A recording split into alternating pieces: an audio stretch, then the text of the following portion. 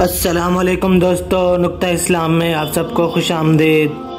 दोस्तों, आज हम हसद और हर्ष के ऊपर बात करेंगे। हसद और हर्ष दो ऐसी खतरनाक रूहानी बीमारियाँ हैं जो इंसान को अंदर ही अंदर खत्म कर देती हैं। अपने प्यारे दोस्तों के साथ एक वाक्य शेयर करते चलें जो हज़रत नूह सलाम के साथ कश्ती में पेश आया था। दोस्तों, वीडियो का बाकायदा आगाज़ करने से पहले आप सबसे गुजारिश है की रेड बटन पर क्लिक करके इस्लाम के सब्सक्राइबर बन जाए, ताकि हमारी नई वीडियो फ़ौरन से आप तक पहुँच जाए, जिसके लिए सब्सक्राइब के साथ साथ बेल आइकन पर भी क्लिक कर दें। जब हज़रत नू सलाम अपनी अम्मतियों को लेकर कश्ती में बैठे तो इन्हें एक बूढ़ा नज़र आया। इसे कोई पहचानता भी नहीं था। आप सलाम ने हर चीज़ का जोड़ा जोड़ा कश्ती में बिठाया, मगर वो अकेला बैठा था। लोगों ने इसे पकड़ लिया। वो हज़रत नू सलाम से पूछने लगे कि ये बूढ़ा कौन है? हज़रत नू सलाम ने इस बूढ़े से पूछा कि, बताओ तुम कौन हो? वो कहने लगा, जी, मैं शैतान हूँ। आपने सुनकर फरमाया तो इतना चलाक बदमाश है जो कि कश्ती में आ गया। कहने लगा, मुझसे गलती हो गई। अब आप मुझे माफ़ फरमा दें।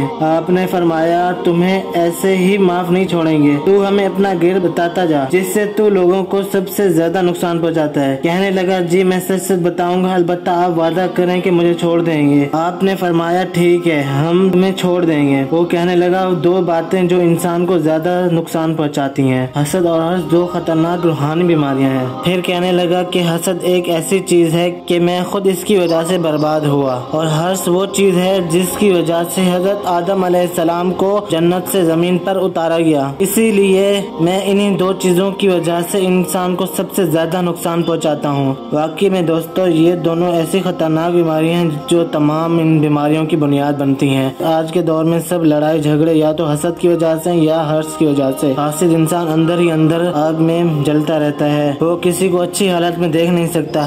दोस्तों कराम कहते हैं कि हसद का इलाज ये है कि जिससे जलसी हो, उसी की तारीफ़ करना शुरू कर दो। उसे बोला करो कि अल्लाह पाक ने तुम्हें बहुत अच्छा दिया। अल्लाह पाक तुम्हें मजीद तरक्की दे। दोस्तों, इससे खुद ब खुद हसद कम होना शुरू हो जाएगा। वीडियो पसंद आने की सूरत में इसे लाइक करें शेयर करें। अपने दोस्तों के साथ और नुकता इस्लाम को सब्सक्राइब करना मत भूलिएगा। मिलते हैं नेक्स्ट वीडियो में। तब तक के लिए अल्लाह हाफिज।